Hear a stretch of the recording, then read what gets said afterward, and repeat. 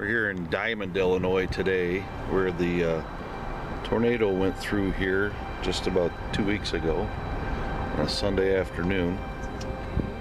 And uh, just looking at some of the damage, uh, the positives are that they are uh, rebuilding some of these homes fairly quickly. Um, you can see, uh, you know, the spray painting on the garage door when they were looking for survivors and things. Which thankfully there were no fatalities in this neighborhood, or actually in this town either. But you can see quite a bit of uh, damage. This area is primarily siding and roofing, shingles and windows. But uh, yeah, pretty amazing power of the wind. Um, it's a shame. And, uh, like this one here totally devastated that house. Took like a direct hit. This is a. See all the. Uh, it doesn't look like quite a few of these homes are inhabited at this time.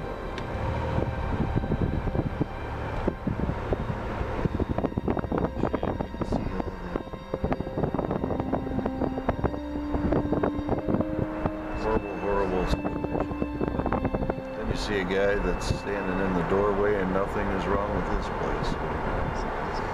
It's a good thing. And I'm sure that they don't appreciate all the looky-loos, but that what happens when you have uh, natural disasters. This guy here looks like he's getting red velvet put on his roof.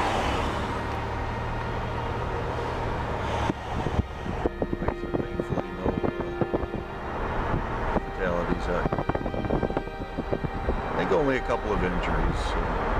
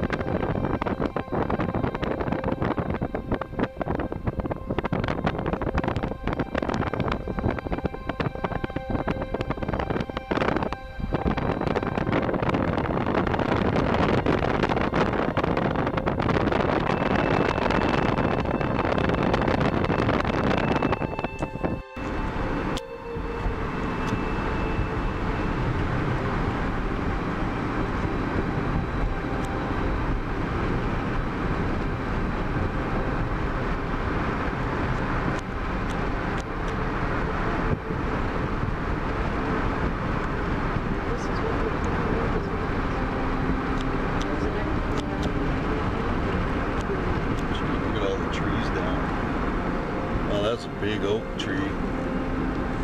Takes a lot of power to pull one of those out of the ground. Just a random suitcase. Really? Yeah. We should stop and pick it up, see what's in it.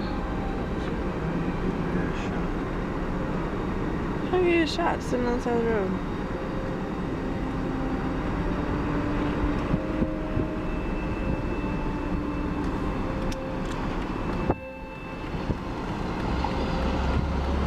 Yeah, I'd be willing to go to the beaches and see what's Mm-hmm. Pretty sad situation.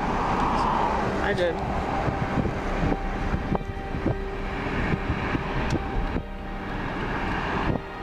Right there, what you're looking at is where the house blew away that was on the video from the shell station.